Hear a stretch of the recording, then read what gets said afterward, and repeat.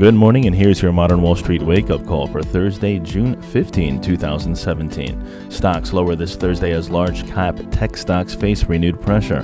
Tech has been on a roll as of late, with the S&P 500 tech sector rising about 18% to easily outperform other industries.